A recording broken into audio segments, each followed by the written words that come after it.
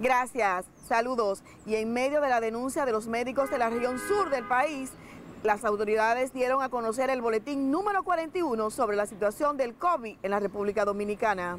La directiva del gremio médico en la región sur advierte que el COVID-19 sigue causando estragos en las provincias de la zona, donde muchos irrespetan el distanciamiento social. Nos llama preocupación, y lo vemos así como Colegio Médico Dominicano, el hecho de que la comunidad de San Juan, su municipio cabecera, parece como que está sin cuarentena dentro de lo normal, porque gran cantidad de personas y vehículos circulan por las calles y negocios que estaban cerrados permanecen abiertos a partir de hoy.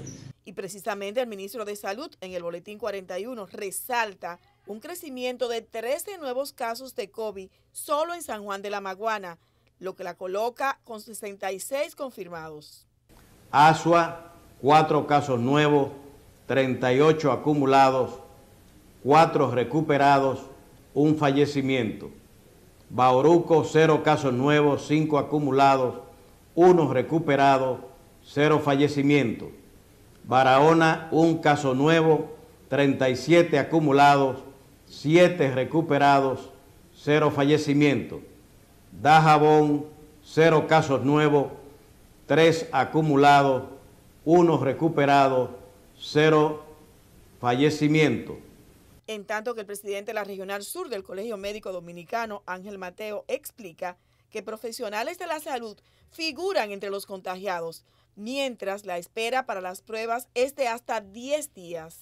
Ya tenemos en la ciudad de Vicente Noble, Barahona, cuatro médicos infectados y una enfermera.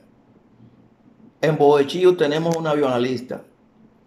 Entiéndase entonces que esa prueba, por ejemplo, en Barahona, en Vicente Noble, no se hicieron de una vez, hubo que esperar.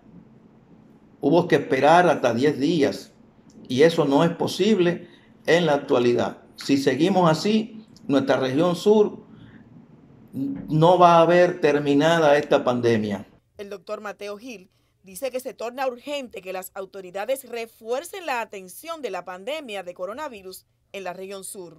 El presidente de la Regional Sur del Colegio Médico Dominicano pidió a la población acogerse a las disposiciones del presidente Danilo Medina con miras a contrarrestar la expansión del coronavirus en la República Dominicana. Aunque admite que en el sur sus habitantes están desesperados por la falta de una adecuada orientación en torno a la situación del coronavirus. Mientras tanto, en Puerto Plata continúa el cordón sanitario con miras a contrarrestar el avance de la pandemia del COVID-19 tras la violación del distanciamiento social el pasado domingo en una concentración multitudinaria. Retorno con ustedes al estudio. Martina Espinal les informó.